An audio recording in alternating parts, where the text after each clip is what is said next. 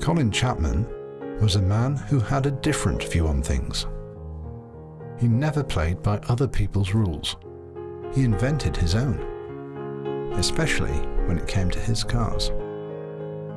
And this different approach he instilled into the company he founded, Lotus.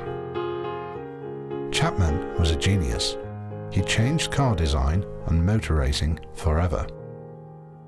His principle was to add speed, add lightness, and he made his cars more agile and efficient when everyone else was simply adding more power to go faster. It was a very different approach.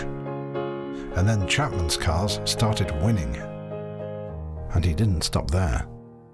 His team pioneered the monocoque chassis, aerofoil wings and ground effect, changing Formula One forever. His cars attracted drivers such as Clark, Moss, Hill, Andretti and Senna. They knew that Lotus cars held true to Chapman's original beliefs and they had what was needed to win. All of this racing heritage gave Lotus a unique advantage on the road. You see, Chapman knew a driver needs to feel connected. He wants feedback and control. He wants instant response. He wants precision and agility. He wants the power to accelerate and the instant power to stop. Chapman had a unique view of the two-way relationship between man and machine, and that understanding became the foundation of his company.